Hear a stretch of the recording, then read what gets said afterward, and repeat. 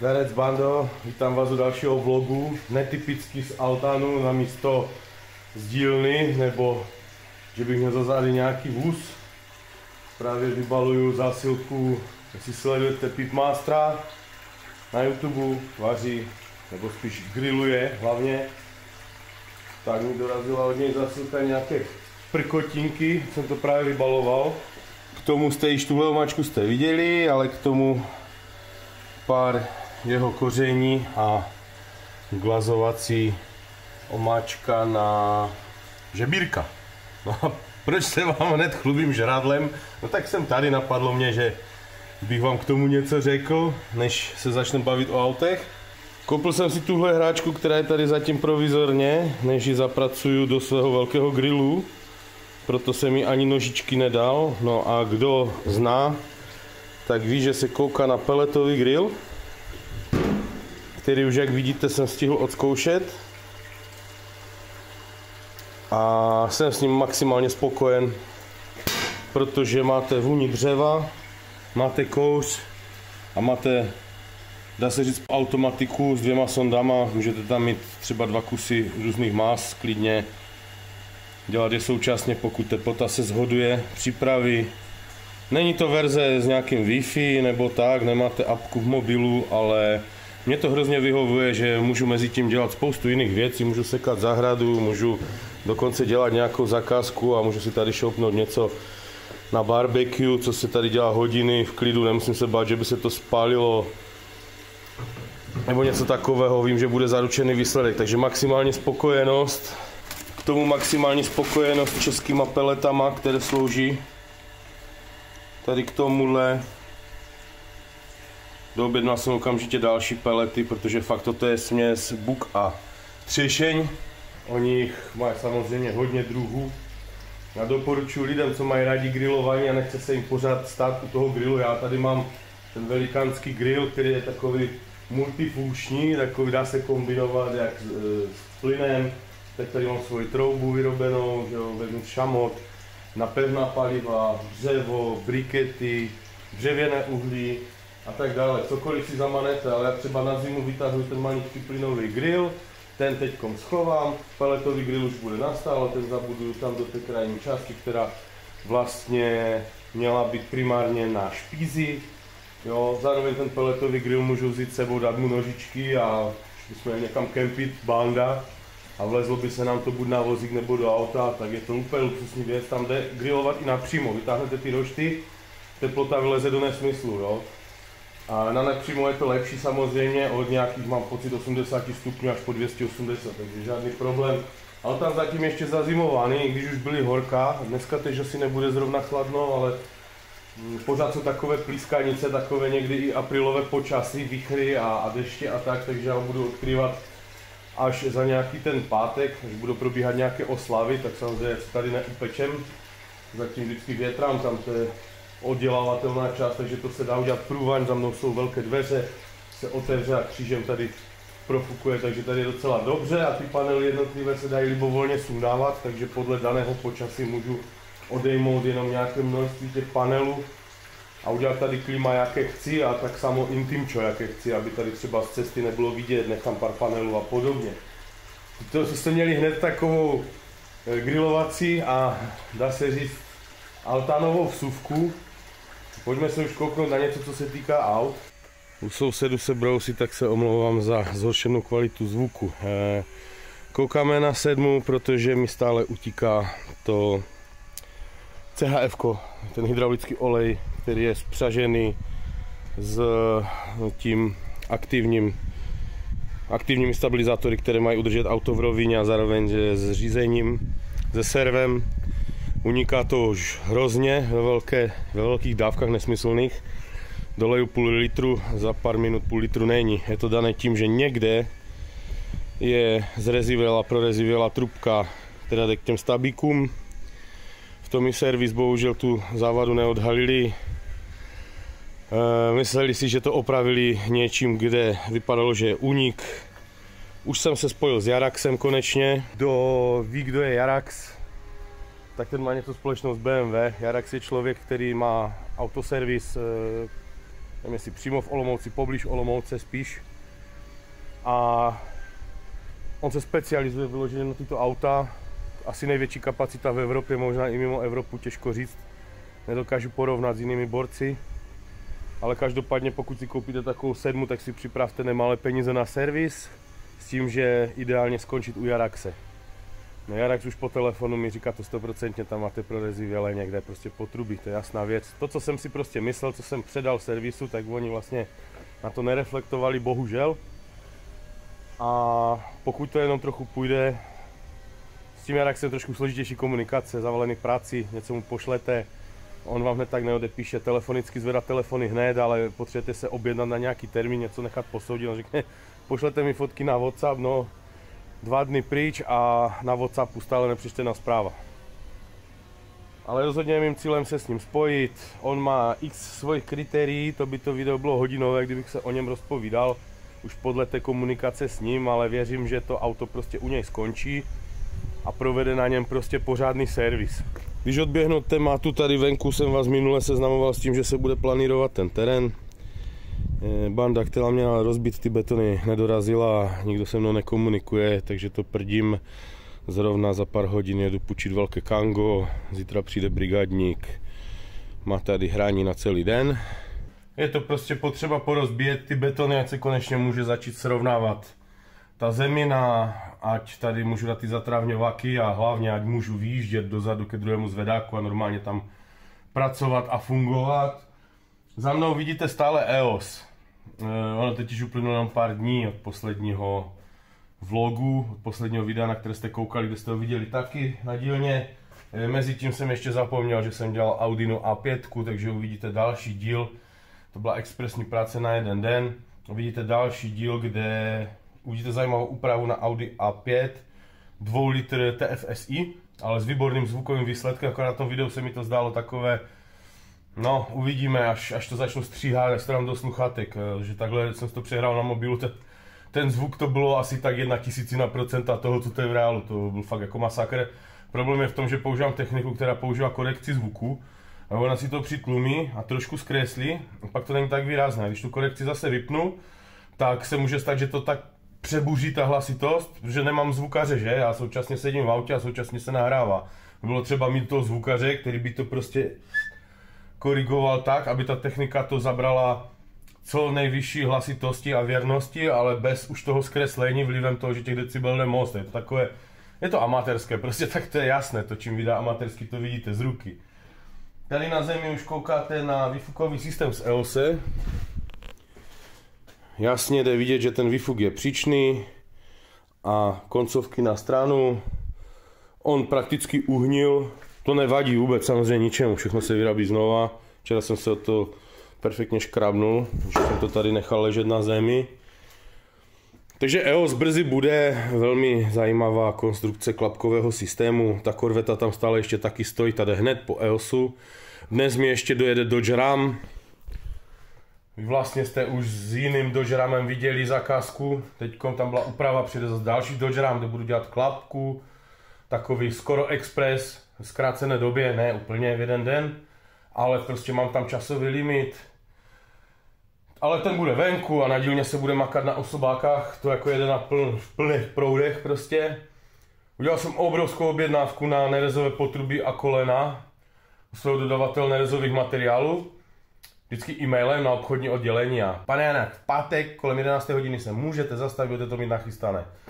Tak já dneska přizpůsobuju celý plán vozík odvést do šrotu, s vozíkem za Omegou, zajet pro nerez, vybrat ty prachy nebo prostě umožnit ten převod, protože mám limit na kartách, jo, protože to je fakt vysoká částka převyšující 100 000 za materiál, tak prostě přizpůsobit se na to, aby to šlo uhradit tu platbu.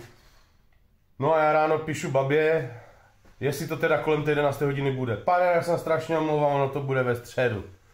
Kam super, o víkendu tu má přijít borec, kamarád, který bude dva dny řezat potrubí a jako... No... Píclo by mě z toho prostě, jo? Taková organizace na, víte co, na blíž prdel. Každopádně pro mě je zásadní tady s tím prostorem pohnout, ať se tam vzadu dá fakt jako víc makat. Tady mi leží to CHF, já jsem dolil snad třetí, čtvrtou pixelu postupně. To nemá smysl, jo, tam říznete jednu, ono to neutíká pod auto, na té sedmě, jo, já přeskakuju témata. E, vy prostě neutíká to takhle, že by to přímo někde chcelo, ale když prostě ostře říznete zatáčku, přenese se tlak do toho stabíku, tak to dělá flak na zem. Já jsem si všiml, že tam byla čára prostě, když vyjíždím u hlavní cesty, to byla stoprocentně moje, jo. Takže ono to vyflusne prostě okamžitě několik deci, podle mě, a je zlé, je zlé. Jsem výrazně omezen, Eh, s tím se dá jezdit, dokud to nezačne unikat nebo neubydete kapaliny tolik, že to má vliv na servo. Jo, akorát se vám auto prostě naklání. Naklání se jako každé jiné, pokud prostě nefungují ty aktivní, aktivní stabilizátory, ale jde o to, že když to utíká pořád, pořád, pořád, tak je to spřažené se servem a to už není dobré, aby servopumpa jela po suchu téměř, že? Takže je to takové naprt a právě jsem se chtěl domluvit s tím Jaraxem, aby jsme se domluvili na nějaký normální termín, že je mi jasné, že je zavalený práci, ale abychom nějak, prostě bych mu to auto tam hodil a teď co? To mám další problém s tím, že X5 je stále u podsta. V pondělí mu budu volat, se ho nechtěl zas otravovat, protože minulou sobotu měli dělat prostě něco. Přes týden jsem je chtěl nechat v klidu, ať furt jenom neprudím a nevolám, proč, co se děje, nemám info, kdy to bude. Vždycky nechám fora, no, zase mu zavolám v pondělí, abych se připomněl, protože mě se hodí mít tu X5 tady a sedmu poslat Jaraxovi a nechat mu ji tam třeba dva týdny, nebo kolik si řekne, abych eh, mezi tím jezdil X5. Samozřejmě můžu jezdit Omego, ale na Omeze je třeba taky pořešit tu korozi a chci mít jedno auto aspoň normální doma. Je to takové na hobby, když máte prostě na každém autě něco a já to nemám rád prostě, mě to to vytáčí, proto tomu věnuju ten čas i do toho videa. Já mám rád, když ty auta jsou funkční a dejme tomu tam zlobí nějaká prkotina, ale nemám rád, když tam zlobí něco zásadního a přijde mi bezpředmětné zase toto, dávat do servisu, kde to neznají, kde budou řešit, kde vzít trubku, jak ji tam namontovat a bla, bla, bla. Radši to tam rovnou Jaraxovi, přesně ví kam šáhnout, na, vyměnit třeba rovnou všechny, když bude potřeba a vyřešit se ten problém prostě na pořád a ne, že to budeme lepit, že samozřejmě. Ono ten servis u toho Jaraxe to není žádný med, on má milion podmínek, které auta si veme, které auta si neveme na servis, chce posoudit, jo, a že ten servis se prostě nesmí provádět někde jinde a tak dále. Jsme měli takový malinký telefonický střed ohledně některých drobností, ale jako já to chápu, já chápu, že někde je takhle nastartovaný, protože má kolem sebe hromadu zákazníků, kteří prostě by chtěli všecko levně a chcou s tím nějak vydrbat, vyjebat a potom, když ten člověk má dlouhodobě se o to auto starat a přijede mu třeba za rok, tak tam vidí deset jiných zasahů z jiných servisů neodborných, akorát mu to háže klacky pod nohy takže já doufám, že jsme se po telefonu pochopili, že prostě se baví s někým, kdo autům rozumí a že nějaký blbý olej si třeba vyměním sám, nebo to může udělat někdo kolem mě, ale jde o to, aby, abych za ním nejezdil jenom kvůli výměny oleje, jo. Jako nemám to úplně daleko, ale mám to, já nevím, dvě hodiny času mi to zabere jedním směrem a můj čas je docela drahý, já můžu makat na dílně a nepotřebuju jezdit kvůli nějakých banalit, jo, na servis, nebo naopak odkládat nějakou výměnu oleje, protože budeme za x měsíců dělat něco dalšího. Takže pro mě ideální eh, se s ním domluvit na několika fázovém třeba velkém servisu, když to všechno neudělá naraz a prostě to auto doladit do puntíku s tím, že zůstanou třeba na karoserii nějaké nedostatky, ale zásadně ty technické věci, aby se vyřešily, protože to auto si určitě nechám nějakou delší dobu, dokud se nezmůžu na něco ještě o x levelu vyše, ale když už s tím mám jezdit, ať už na každoden nebo velké vzdálenosti nebo kamkoliv, tak prostě chci, aby ty auta byly v cajku. Za mnou, teď jsme přešli na druhou stranu, tady je ta naše Radoby klubovna, za mnou je Výfuk. Výfuk z BRZ sériový, co mi tady zůstal po zákazníkovi, nakonec koupil někdo, kdo sleduje má videa. Takže ho právě balím, půjde do Prahy, akorát co je na houby, že ho nemůžu poslat přes PPL, se kterým mám smlouvu, protože tady ta přední část je delší než 120 cm, což je maximum pro PPL. No, takže musím s tím valit na poštu, musím tu neforemnost nějak zabalit, ať se jí nic nepřihodí, že všechny konce dám aspoň do bublinek, omotám to strečkou. Jo. No, to je jenom tak pro info, že máte možnost si u mě koupit prostě co zbyde, co mi tady zákazníci nechají, co je pro ně nehodnotné, tak samozřejmě jsem schopný podle stavu, podle toho, co to je, když to je jenom nějaká bezvýznamná koncovka výfuková. Já to tady skladuju, když je pěkná, jo, ale pak už to jde jako za pár korun, tady tenhle systém nebyl úplně za pár korun, ale s ohledem na to, kolik stojí, úplně zlomek ceny.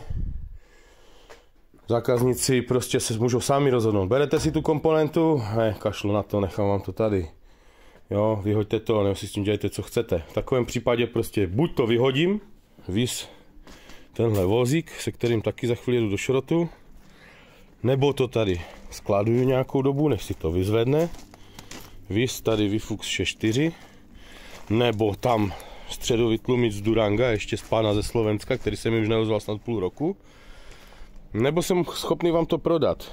Jo, tady máme středové tlumiče několika oktáví, teď je tu šílený bordel, to říkám skoro v každém videu, když něco natáčím, ale všechno se to bude uklízet. A tady se to vlastně celé zadělá, budou to takové boxy otvírací a bude tady maximální pořádek v budoucnu. Právě se na tom maká, všechno to bude mít souvislost s tím pozemkem, s tím, co právě odvážím a tak dále, takže nebojte se, nejsem bordelář, všechno to bude chtít hlavu a patu a ten bordel tady je, protože prostě vytahaný ze všech koutů a hozený na hromadu, aby se dalo jinde uklidit. Další vsuvka. Teď jsem si dlouhosáhle dopisoval, spíš jsem to utnul už potom s panem, který si říká Jarax, kterého prostě vychvaluju, do nevidím, chápu, že to je velmi schopný člověk, který uh, umí svoji práci perfektně a že za ním jezdí lidi fakt uh, ne stovky, ale třeba tisíce kilometrů z jiných zemí. Uh, pochopil jsem, že on už chápe prostě servis auta jinak, že to bere spíš jako renovaci veterána, akorát to zapomněl jak si tak nějak sdělit třeba na svém webu nebo tak nějak kolem špatně to formuluje a Eh, vlastně, když k němu budete chtít jít na servis třeba ze svojí sedmou, tak eh, on po vás bude chtít vin, upozorní vás na to, že když to auto není dostatečně vybavené, že vás na servis neveme. Tak jsem mu poslal vin a jeho odpověď, místo aby mi zavolal, já jsem to urgoval teda po těch dvou dnech, jak jsem vám před chvílí říkal, eh, jeho odpověď zněla, že to auto je dosti nevybavené, že nemá ani dvojité skla a podvozek má obyčejný klasický. No to je fajn, to já moc dobře vím. A že kdyby takové auto nevybavené, že k němu na servis prostě nemůže, eh, že to je klasická 745 a že to prostě není ničím zajímavé a eh, že kdybych to měl v top stavu a dovezmu to na servis, takže do toho nasypem 100 tisíc a super. Eh, já si říkám, jaký je rozdíl v tom, jestli to auto dovezu a je v top stavu a nasypem tam 100 tisíc, anebo není v top stavu, nasypem 150 a nebude prostě kompletně zrenovované, ale budou tam odstraněny ty největší neduhy. Přičemž hodinová sazba bude stát třeba klidně i o něco víc, než u nějakého toho jeho auta v top stavu. Chápu, že on eh, si rád dělá z lidí rukojmi a prostě tu renovaci nejradši dělá tím stylem, On mi sám sděloval částky 800 tisíc až 2 miliony, že prostě není problém naházet do takových aut. E, já chápu, že v případě, když děláme kompletní renovaci a to auto se úplně do kastle rozebere a dělá se všechno od nuly, tak dobře. Jo, to je prostě renovace v plné svoji výši, jak třeba říká pan Turek e, u Jaguaru, že prostě toto je ten pravý smysl. Tak e, asi na jeho místě bych vystupoval vyloženě jako renovátor, jako člověk, který to řeší prostě už jako historické vozidlo a který nedělá prostě klasický servis. Protože já nechápu, eh, co je problém na tom, když ten jeho čas, v domluvený termín, kdy on mi řekne, přistavím svoje vozidlo, byť nebude v top stavu. Já jsem říkal, kdyby to bylo v top stavu, tak nepotřebuji vaše služby. Kdyby bylo v top stavu, tak tam prostě měním oleje na plně a neřeším to, že tam je nějaký škrabanec nebo někde něco praskle, nebo já nevím, mi vrčí ventilátor, nebo jsou nějaké drobnosti, nebo že je třeba povyměňovat nějaké plasty nebo tak. Je to auto, mám dejme tomu na pár let a pak si chci koupit něco, prostě zase posunout se někam dál, dejme tomu, ale ideálně, aby měl nějaký správný motor, správnou duši. No a ten člověk prostě má s tím problém. Jako on řekl, že prostě můžu přijet a on mě může odmítnout a já nehodlám investovat svůj čas do toho, že já přijedu, otočím se na patě a pojedu domů, nebo tam s ním budu takhle diskutovat. Kdyby mi to prostě řekl na rovinu, eh, on to neumí formulovat prostě za mě ten člověk, jo. on to neumí formulovat, takže dlouho sáhle vysvětluje, že prostě podle vybaví a že mají svoje měřítka a že kdyby řekli, že berou auta jenom červená, tak je to jejich věc, ale důležité je to někde uvést. Já jsem ten a ten, mám autoservis, mám autodílnu, ale beru jenom červená auta. Jo, to nikde není a já měl za to, že to je prostě pan člověk, pan servisák, prostě pan mistr, pan někdo, kdo prostě těm autům rozumí jak někdo. A že prostě chápu, že když za ním někdo doveze totální vrak, tak pak už to jenom závisí na tom, jestli prostě do toho sypat ty prachy bude. No, takže já mě došly nervy při té diskuzi už, hm, choval jsem se k němu slušně, popřál jsem mu hezký den. Pro mě to nemá smysl, když už vidím, že ten člověk prostě nemá ani uh, tu úctu zavolat a chce si dopisovat, já jsem mu volal předtím, pak jsem mu psal, on mi neodepsal.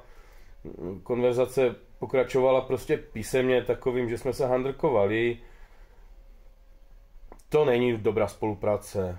Pokud je prostě nastavený jinak, jak mi říkal, že má prostě zakázky z Finska a já nevím odkud, a nemá čas, prostě opovrhuje prostě lidma, kteří třeba mají nějaké prostředky, chtějí investovat do servisu, chtějí svoje auto dát do kupy, nemá na to kapacity, jak mi říkal, to je v pořádku, ale aspoň ta formulace, jo, ušetřili bychom si oba dva asi nějaký ten čas, kdyby to formulovali jinak, řekli, podívejte se, já dělám pouze kompletní renovace, eh, které stojí řadově x stovek tisíc a prostě běžný servis už nedělám. Jedno dlouhé souvětí a jsme vyřešeni během pár vteřin a nemusíme si spolu tam jako povídat, jak nějací dva pubertáci. On mě nezná, tak si třeba říká, ten člověk prostě nemá prachy. On to zase na druhou stranu vidí tak, že když to auto je ve špatném stavu, že tam nasypeme 2 miliony. Jo, chápu, jakože když to někdo, když někdo má úplně nějakou topku, nějakou raritku a chce to prostě zrenovovat, tak tam nasype 2 miliony. Ale potom ten argument, jestli je to v top stavu, tak tam nasypem 100 tisíc a bude to úplně super. Nevidím, jak jsem řekl, v tom rozdíl, když prostě uděláme třeba podvozek, uděláme nějaké věci, nasypem tam třeba místo 100, 150, on si tam třeba dá cenu, řekne si to auto je v horším stavu, takže ta hodinovka bude prostě vyšší, s tím se už pracuje, počítejte plus minus s tím a s tím. Jo, já jsem už jenom tak uh, z té diskuze pochopil, že to není typ člověka, který vám dokáže říct uh, tu cenu třeba uh, Jo, já chápu, že oni mají kompletní prohlídku. To jsem byl rozhodnutý u něj udělat. On mi to i nabídl, že při nejmenším udělá tu kompletní prohlídku a aspoň mi řekne, co všechno je špatně ale už jenom z té diskuze a z té komunikace nemám zájem vůbec takového člověka vidět. Upřímně, i když jsem ho jako prvotně docela žrál na těch videích, kde nebyl schopný ukázat ani obličej svůj, ale v pohodě, prostě každý jsme nějaký. A jako já si myslím, že každá práce má svou cenu, jo, tak buď řeknu na rovinu, nezlobte se, já teď zakázky nepřijímám vůbec, nebo řeknu na rovinu, dělám pouze renovace, a nebo řeknu, tak ten prostor se dá najít třeba za půl roku, ale počítejte s tím, že hodinová sazba je plus minus toto a že pokud třeba řešíte zrovna únik oleje na podvozku, tak vás to může stát v rozsahu tolik až tolik peněz a to se bavíme třeba o jedné věci a tak dále. Ale z tého konverzace jsem prostě vycítil, že vy mu necháte auto, on vlastně vám řekne, bude to stát hodně peněz a potom na vás začne valit cifry, tak jak říkal, mám tady člověka, který už do toho vrazil 800 tisíc a já mu říkám, že to bude stát celé 2 miliony.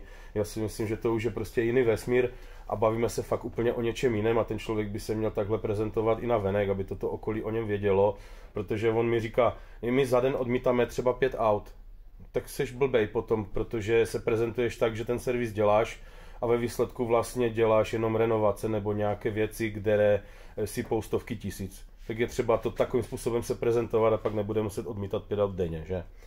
Jo, jako vyloženě mě ten způsob, ten člověk sám o sobě mě ani nenasral, jo, protože on prostě to má ve své hlavě jinak. Jo, já jsem si musel jeho formulaci přetvořit do toho, jak on se měl vyjadřovat a jak by se měl prezentovat, jak jsem teď říkal, jo. On to má nastavené jinak a on to prostě vidí, že on je prostě v pohodě, že on mi to říká správně. On, on eh, svoji postavu a svoji práci prezentuje prostě špatně a potom to okolí to chápe, že prostě tam je možné auto dopravit na servis. Byť velký servis, a prostě není to možné. Není to možné, takže zapomeňte na Jaraxe, protože pokud nemáte 2 miliony v kešení, tak prostě podle něho za ním nemá smysl jezdit.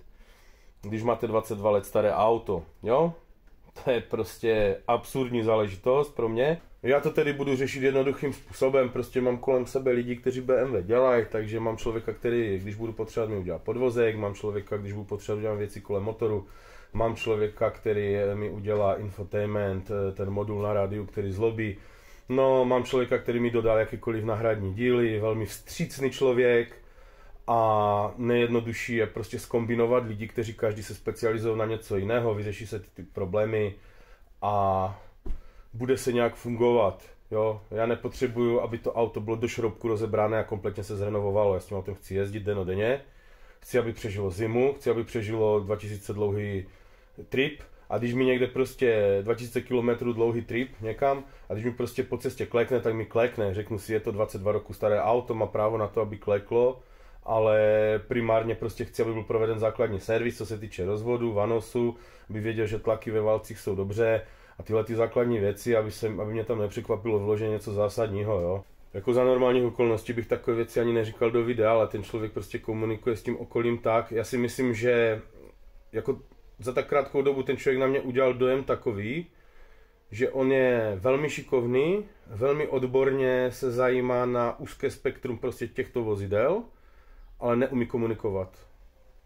To si myslím, jo, to je podle mě ten základní nedostatek a tím pádem kolem sebe nasere velmi velké množství běžných lidí v uvozovkách a samozřejmě kolem sebe naváže lidi, kteří prostě peníze neřeší a mají ve vozovém parku daleko dražší stroje, úplně jiné a skutečně chápou prostě toto auto už třeba v nějakém longu, v nějakém full paketu jako, jako raritu a jako vyloženě už veterána pomalu, jo.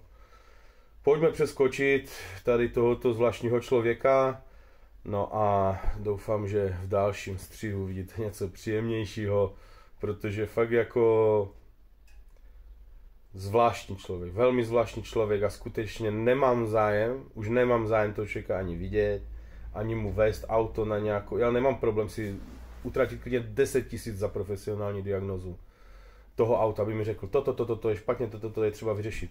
Ale tu s tím člověkem, já mu dám ty prachy a on mi řekne, hoďte to do šrotu, jo? protože to prostě nemá to smysl, já toho člověka fakt nepotřebuji ani vidět a vůbec s ním ztrácet čas.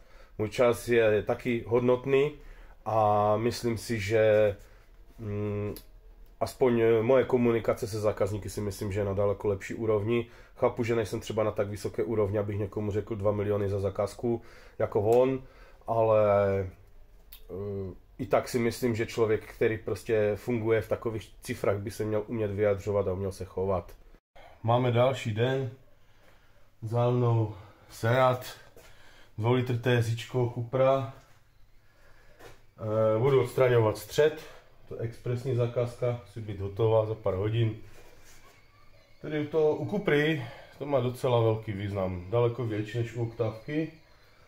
Je to dané tím, že zrovna toto je čtyřkola, ten středák je víc vzadu, je šikma a po jeho odstranění se zvýrazní více těch středových kmitočtů a takových těch detailů v tom zvuku výfuku, nebo motoru skrze výfuk.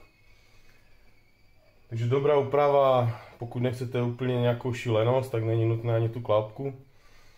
Stačí pouze odstavit ten střed, akorát prostě jak říkám, udělat to nějak normálně, jo, tam nejsou nějaké šílené uvnitř přechody, ať, eh, protože nezvětšujeme průměr potruby, tak si nemůžeme dovolit nějaké větší kiksy, aby tam nebyly hrány. Kdybychom zvětšovali průměr potruby, tak někdy ta hrana ještě může být i plus, že více ozvláštní ten zvuk. Někdy se to dělá umyslně, ale pokud máme sériový průměr, tak nechceme zvyšovat ty turbulence, jo, abychom nezhoršili ten vyplach. Protože sériový střed eh, je průchozí. Můžu se vlastně s vámi podívat pod auto, můžu to zvednout, ať vidíte, jak to vlastně vypadá před někdo tu kupru třeba vlastní uvažuje takovou právě a třeba ještě ani pořádně neviděl ze spoda, že? Takže ať si trošku povíme rozdíl třeba mezi oktávkama a se stejným motorem RSama a tímto. Oktávie mají obvykle dlouhý středový tlumič tam v té přední části. Nicméně tohle je čtyřkola, tady vidíte div, kardan jde horem, tak se, jako on by se tam nějak vešel ten tlumič, ale bylo to hodně prácné, asi neúplně totožný ale ono to je hlavně rozdílná konstrukce výfuku, hlavně kvůli toho kardánu. Jo, aby se tady prostě vešel ten tlumič a nevysel pod vozem, můžete vidět, že tady je vykrojení. Aby mohl být výš. No a zároveň se můžeme podívat, že zákazník přijel docela včas. protože tady nám to už pěkně prokorodovává, tady jsou svary. Oni to teď dělají fikaně u VW koncernu, že toto je jakoby nerez, dá se říct plnohodnotná, ale vnitřnosti jsou méně kvalitní. Jo, je to prostě horší třída nerezy nebo možná až vyloženě ke klasické oceli. Jo, neznamená, že nerez nemůže korodovat, jo, záleží prostě těch kvalit je několik a může vám korodovat jako horší nerez, dá se říct, jo, protože to je laický pojem, že, říkat něčemu nerez a veřejnost chápe nerez jako potravinářskou nerez, která prostě nekoroduje a maximálně může podléhat nějaké degradaci s nějakýma kyselinama, takovými věcma. Prostě laická veřejnost vnímá nerez tak, že když přijde do kontaktu s vlhkostí a s vodou, že zůstane stále pěkná, ale nerezy může být nespočet druhů podle toho, jak je prostě namíchaná ta složka v té nerezavějící oceli, z čeho se to konkrétně skládá, jaké tam jsou podíly, jakých věcí. No a VV koncern to kombinuje, že udělá tělo z kvalitnějšího materiálu a vnitřek z horšího materiálu. Takže se vám může stát, že vnitřek tlumiče dosluhuje, zatímco zvnějšku to jakž tak ještě vypadá dobře. No, potrubí taky často je prezentován, třeba prodejce vám řekne, máte nerezový výfuk na novém voze. Ale je to horší kvalita nerezy, že prostě za x let eh, ta povrchová koreza to dožene, eh, ne že by to úplně prokorodovalo, spíš to vypadá nejprve škaredě, škaredě zvenčí.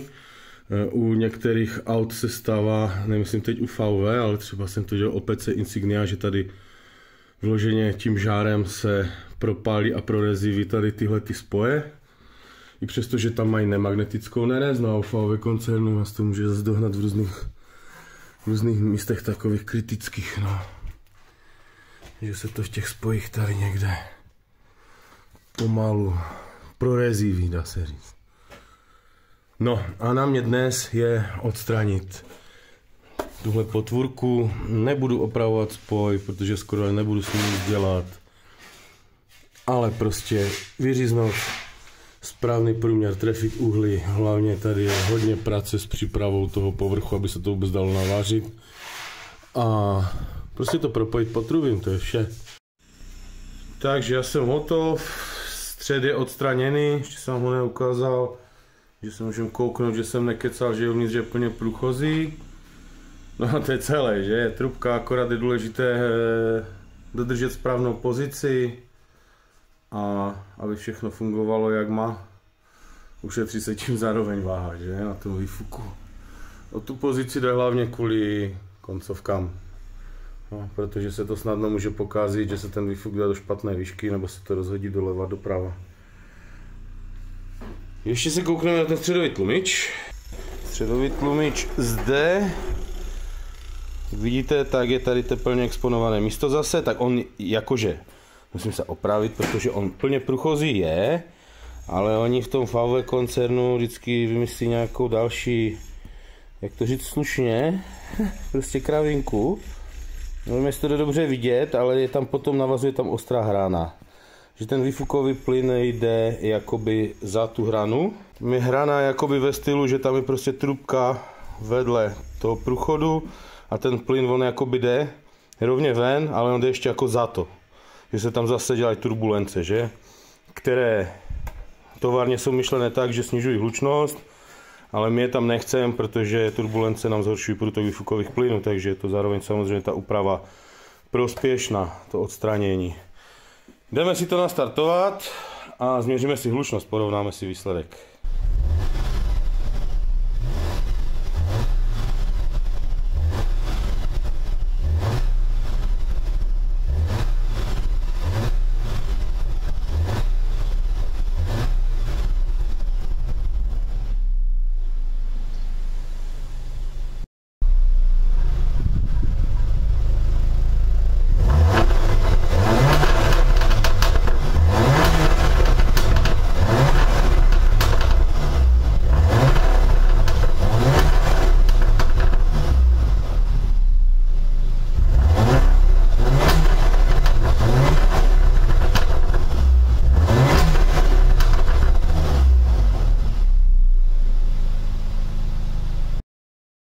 Co říkáte na Cupru zvukový, není to marné, ne?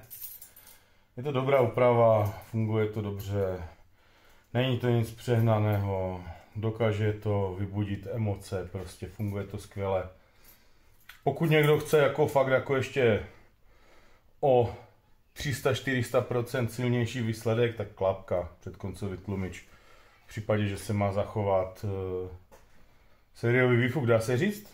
Pak to ještě posunout na další level, jak jsem dělal na Audině, tomu říkám Frankenstein, kdy nejen, že se odstraní střed, ale udělá se celé potrubí od downpipeu až k tomu koncovému tlumiči ve zvětšeném průměru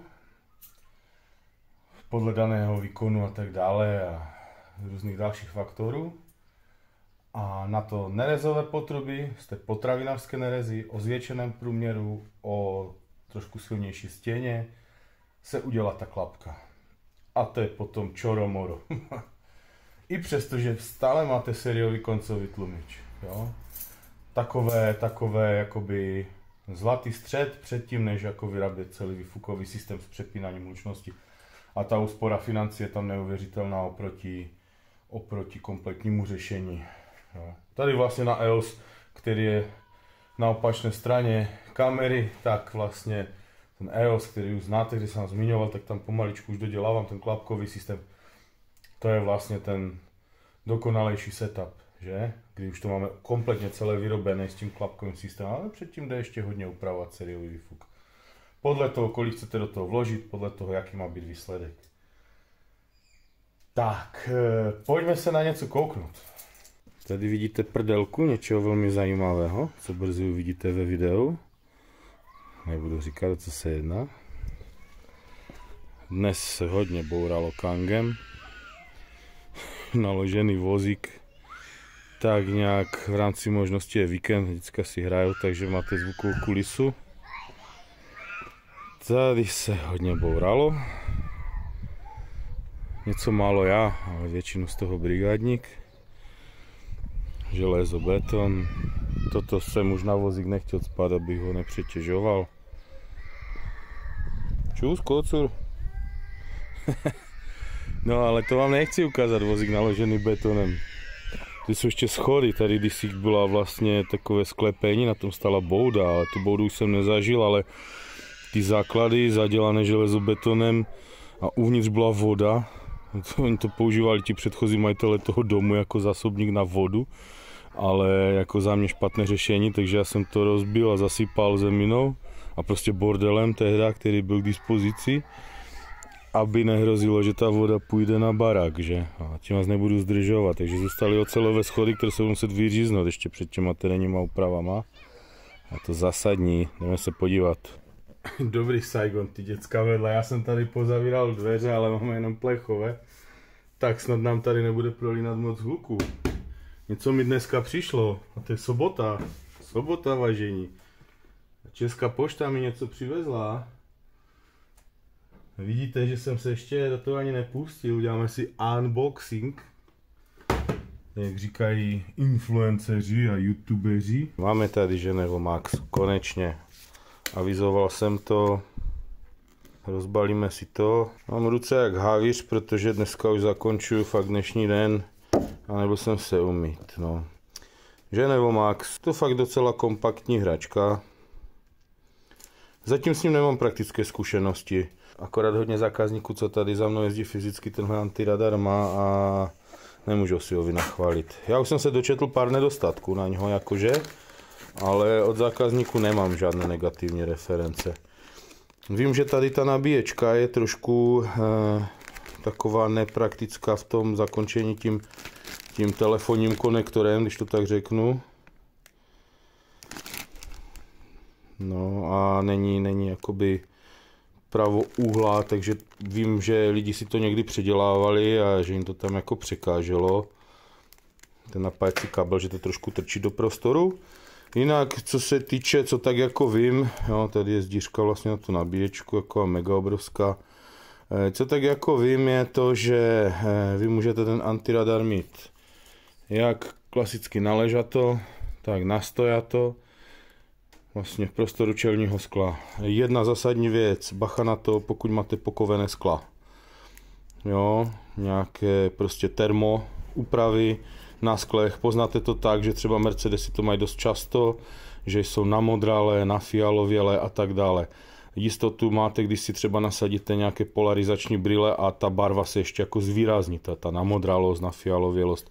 Tak máte zichra, že máte prostě pokovené skla a tím pokovením se prej snižuje eh, i přes 90%, mám pocit, že dokonce 95% jako účinnosti detekce toho antiradaru, takže na to bacha. Pokud máte pokovené skla, tak zřejmě asi není úplně vhodné si investovat tuhle tu nemalou částku do takové věci, protože on zřejmě bude fungovat velmi slabě.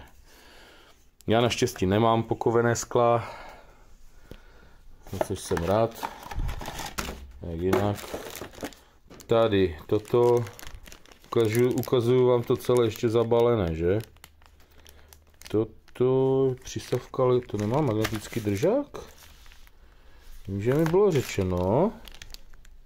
Má, to podle mě na magnetu, no jistě. Sorry, že to je mimo záběr. Tady je magnet, já tak na tom drželo, že mě to zmátlo. Přísavka s magnetem na sklo a tady je vlastně ploška magnetická, takže cik, prej to drží dobře. Tak snad jo. Akorát vím, že chlapi říkali, že si radši přikoupí třeba když mají víc aut, ty držáky, ať je nemusí odlepovat přes tu přisávku, že je to takové nemotorné, když střídají auta, že mají ty držáky třeba v každém autě, nebo dejme tomu ve dvou autech a potom vemu jenom zařízení, nabíječku a jen tam nacvaknou. No. Nevím, kolik ten držák stojí, je to značková věc, tak to bude určitě přes tisíc korun, že? No, zapínat to teď nebudu, fakt jenom unboxing. Já si půjdu mít ruce, možná to tam nainstaluju do bava, to mám předchystané. A určitě vám k tomu postupně potom řeknu něco víc. Ještě to vemu domů, udělám nějakou aktualizaci, vím, že tam je doživotní aktualizace zdarma. Eh, vím, že si to prostě máte doživotní aktualizace toho, kde se pohybují stacionární radary, tyhle ty věci. Mm, má to GPS, takové věci. Vím, že tady na displeji se zobrazuje, jaká je rychlost. Jeden zákazník si z toho dělal docela legraci, jakože když vám to zadetekuje, že vás někdo měří, tak okamžitě víte, na kolik máte zpomalit, protože se kouknete na ten displej, svítí 50, dupnu na brzdu. Tak to jsou jen takové základní věci k tomu a berte mě, že nejsem žádný recenzent, že to beru hodně povrchně, laicky, srozumitelně doufám a hlavně vám budu říkat prostě, jak to funguje za jízdy, co mi to hlásí, co mi to nehlásí, jak je to s falešnýma poplachama, ale fakt jako, myslím si, že i ty moje recenze jsou takové docela zbytečné, protože skutečně každý člověk, který to má ve voze, si to velmi vychvaluje, tím velmi spokojen, mohli jste to vidět, já nevím, jestli sledujete pana Čunga, který se teď dostal zřejmě do nějakého maleru na YouTube, vlivem toho, že používá slovo špíňák docela neurvalé a asi už to někoho zašlo srat, tak proti němu prostě už zbrojou hoši, firmy, já nevím kdo ještě. Tak eh, jedna z prvních věcí, kterou jsem si všiml, když jsem na něho narazil, že má v autě prostě přímo nebo Max. Protože ti lidi, co mají silná auta, si prostě na to musí dávat bacha. Eh, já netvrdím, že antiradar je věc, která prostě, eh, že si to člověk kupuje proto, aby jakoby, že, že duší pirát musí jezdit všude jak hovado a že prostě ho to hlídá, protože někdo to takhle povrchně chápe. Mm, je to podle mě prostě na tom, jak je kdo mentálně a tak nějak nastaven, že celkově.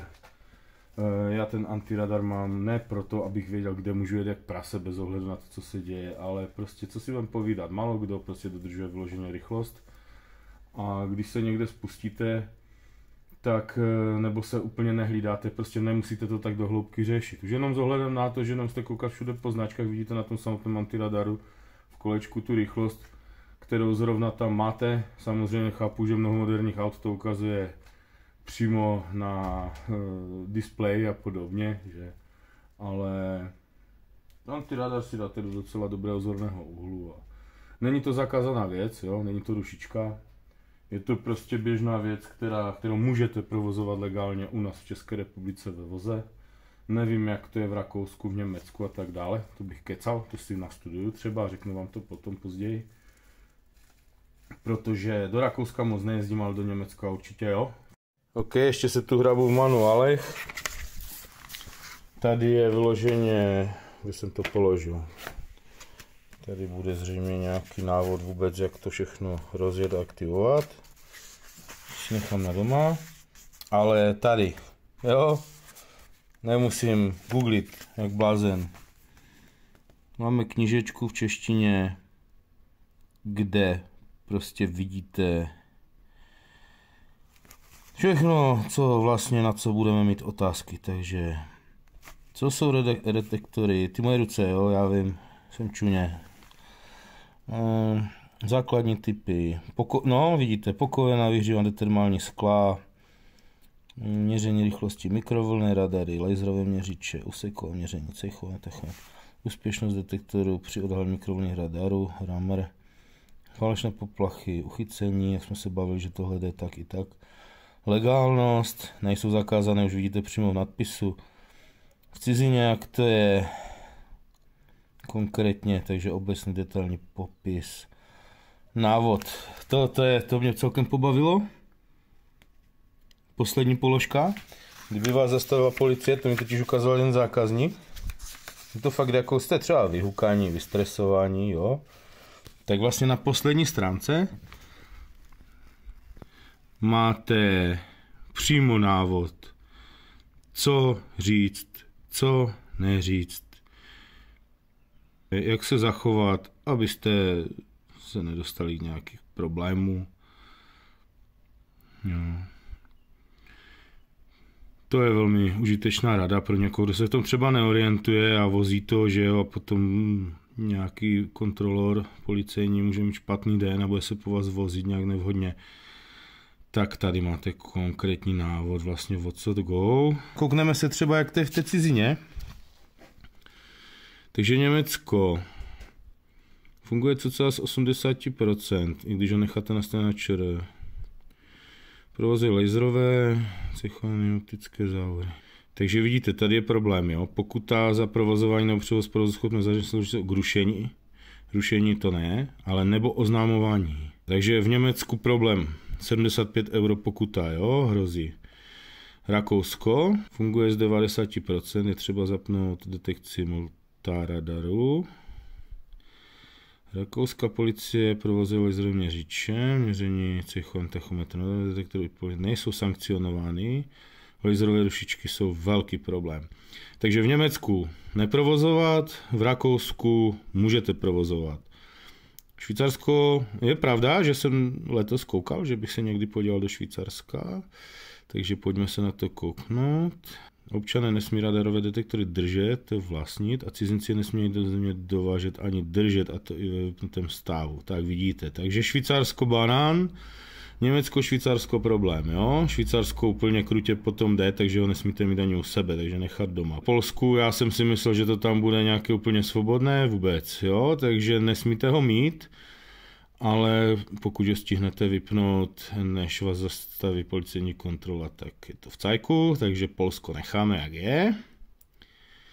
Slovensko. Je třeba aktivovat v menu detektoru multaradary. Přísně sankcionováno. Pokuty 150 euro. A dokonce techničák. Takže na Slovensku mega problém. Taky. Maďarsko bude fungovat, omlouvám se za ty odlesky. Není zakázáno Maďarsko bomba, protože budu projíždět celé Maďarsko. Rumunsko tady ani není, tam bych to ani nehrotil. Rumunsko je tak svobodná země, že tam můžete jako hodně věcí. Slovinsko, 60% jenom, tam se hodně využívají lasery. No tady toto zařízení má docela problém s lasery. Ono to prý chytí, ale prý nějak až jako pozdě že se člověk na to nemůže spolehat na laserové měření. Tady v tomhle případě. Jo. To je daleko složitější to detekovat. To byste museli mít nějaké pevné zařízení ve voze, drahší daleko. A naopak stejně, jo, vidíme, že je zakázáno. Takže ve Slovinsku banán, Chorvatsko, tam jezdí hodně lidí, že? V Chorvatsku je to benevolentní, ale samozřejmě můžou měřit i jiným způsobem pomocí cejchovaných tachometrů, že? No, což je antiradar krátký. No, tady je to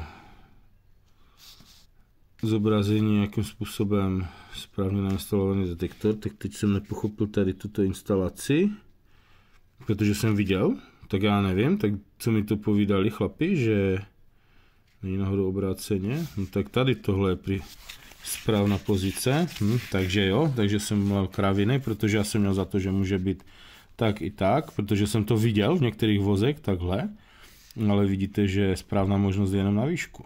Hm. Takže je fajn si přečíst návod, no, když to takhle sledujem. Hmm. Legálnost, pojďme se přímo na tu Českou republiku naši teda. Nemáme žádný problém s tím, můžeme ho vozit, to jak tak švíme. Jo. Laserová ochrana, no, tam vím, že to pokulhává. Jo, tady za použití rušičky. Tohle rušička není, tohle je jenom antiradar, jo, takže to je mimo mísu.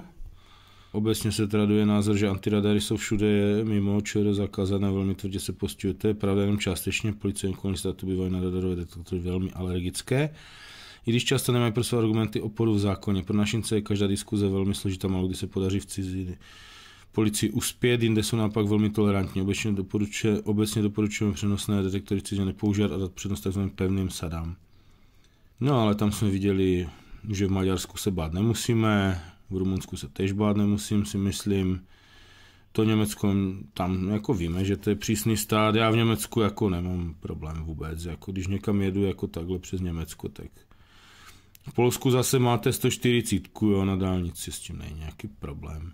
Zase jsme něco chytřejší a jdeme na to odzadu, že? Tak a teďkom.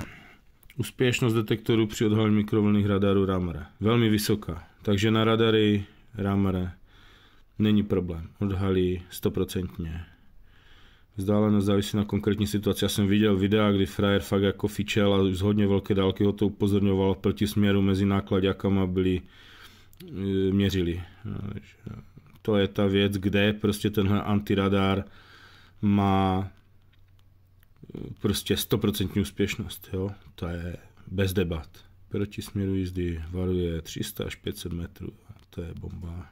Takže to jsou ty ramra radary, ty jsou v pohodě, tachometry, co je chované. Samozřejmě, že pokud auto, které vás měří na základě toho, že kontroluje svůj vlastní tachometr, tak eh, nevysílá žádné vlny a antiradar ho nemůže chytit. Takže jste koukali, jestli za váma stále nejde nalepené auto nějaké konstantní vzdálenosti a protože hrozí, že vás bude měřit. No a to je ten problém, že tady vidíte Superb Octavia v civilním provedení, pár motorek jezdí a hlavně nově eh, pětkové báva podobným systémem, kamerami.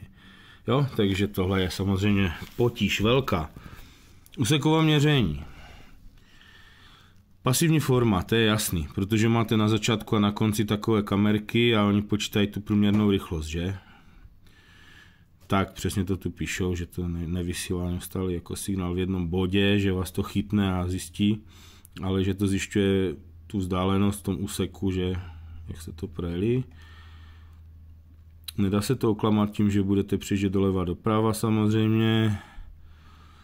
Zařízení prakticky nic nevysílá, tudíž není jednoduše detekovatelné. Pasivní radarové systémy vybavené GPS modulem.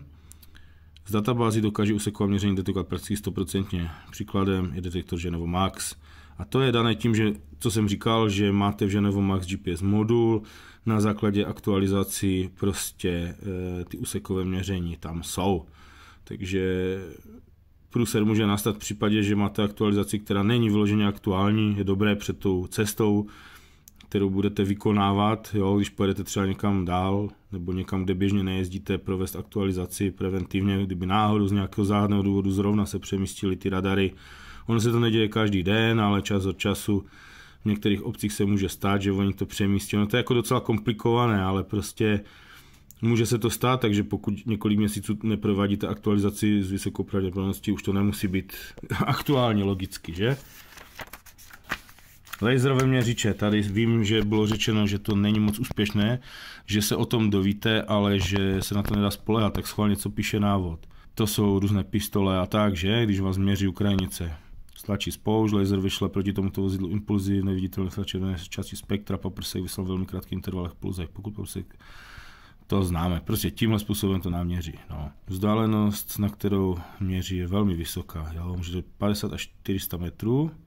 Musí stát samozřejmě venku, jo, že nemůžou vás laser měřit. To znamená, můžou měřit z mostu, myslím, teď už nějak i, no a nebo stojíc někde, že? Tak a tady dole je vlastně poslední odstavec, že jsou hůře zjistitelné radarovými detektory.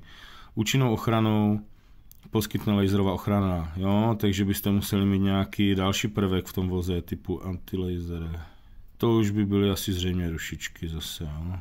No, je to tak, takže je nelegální to rušit, jo, takže na lasery se prostě spolehnout nemůžete. No, to je věc, která prostě, můžete se spolehnout, pokud máte aktualizaci na ty úseková měření, na tady na ty ramry, že nejběžněji používané silniční radary. To jsou odražené radiové vlny, tady by měla být ta úspěšnost prostě špičková. Jo. Civilně neoznačené vozy, 300 kusů, trojnožky, bradavice, předních maskách policejních vozů. To jsme se bavili, že tohle to umí. Jo, tady máte stacionární, že? Tohle bylo třeba u nás v Ostravě dost často v Ravůvce kdy ty bedny, ty boxy tam byly a přesouvaly se ty radary, že člověk nevěděl, jestli zrovna v tom boxu je nebo není. Hmm. No, tady, já jedu po spátku, no, tak jsem maňos, no, já to tak někdy dělám, takže sorry, jo. Hm, tak tady máte tabulku prostě, jak to je. Stacionární měřiče, odhalíte 100% kvalitním poslední řádek a první řádek a úseková měření. No, takže ty tři body se týkají toho, co jsem koupil, Genovo Max. Jo. No, ale tachometr, to už záleží na vaší ostražitosti v zrcátku, že jo, ale zdrové měřiče, to prostě, tady vidíte 30%. To je to, co mi říkali zákazníci, že ono to jako upozorní, ale dočetl jsem se v diskuzích, že se že to může být pozdě prostě, že už vás změřili, že se o tom dovíte, ale prostě stalo se, no pokovené skla. Jo. Tady vím, že je prostě problém. Zabraňuje průchodu až 95%, pokud máte vrstvu kovu na čelním skle. Jo. Vím, že to platí i ze zadu, jo, protože třeba ty Mercedesy mají pokovené sklo ze předu i ze zadu. Ale folie prej nevadí. Jo. Tedy pokud jako fakt chcete to vyřešit, tak můžete vyměnit čelní sklo nebo koupit pevnou sadu, která stojí ranec a nemůžete ji přemístěvat mezi autama. Že? protože ta antena není v interiéru, ale někde jinde. Nevadí, pokud máte vyhřívané čelní sklo, bezpečnostní a jiné folie na sklech. Jo, to nevadí, ale ty vlny odrážejí prostě ty pokovené. A to je univerzální návod pro všechny řady. No. Takže tady máme prostě maxa mezi něma. OK, ve stručnosti všechno, že? No, Snad vás to nenudilo. Myslím si, že tímto bych tenhle vlog mohl ukončit, protože zase to bude mít hodinu minimálně. E, postěžoval jsem si na Jaraxe. Podívali jsme se na odstranění středu, něco si k tomu řekli a změřili. A máme tady antiradar. Já si s ním jdu hrát, musím se najíst, musím se hodit trošku do čista, dám si vanu a pokračování zas v dalším vlogu. Díky, že jste se dívali a zatím čau.